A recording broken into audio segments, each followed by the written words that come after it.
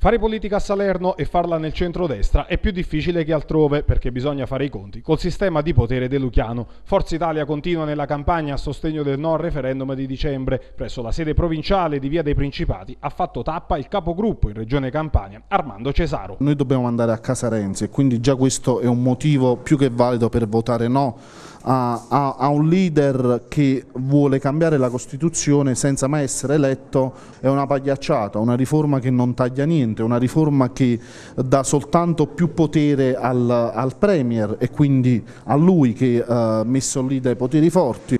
Invece la partita regionale dove Forza Italia è fieramente all'opposizione.